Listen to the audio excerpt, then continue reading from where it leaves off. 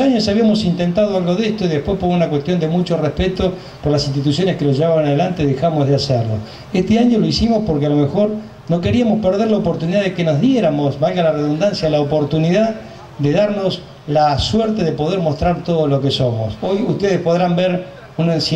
una, enorme cantidad de cosas. Hay empresarios, empresarios metalmecánicos, hay empresarios vinculados a la industria automotriz, pero por sobre todas las cosas está presente todo lo que hacemos todos los días. Está presente la salud, la salud municipal, la salud regional, la salud de la provincia de Buenos Aires, está presente el Ministerio de Asuntos Agrarios de la Nación, eh, mañana va a llegar un, vehículo proveniente del Ministerio de Industria, está presente el Ministerio de Industria, están presentes los bancos, está presente el Banco de la Nación, está presente el Banco de la Provincia, están presentes todos los expositores que compraron esta maravillosa idea de poder trabajar tres días juntos y cada vez enamorarnos más de lo que realmente nosotros queremos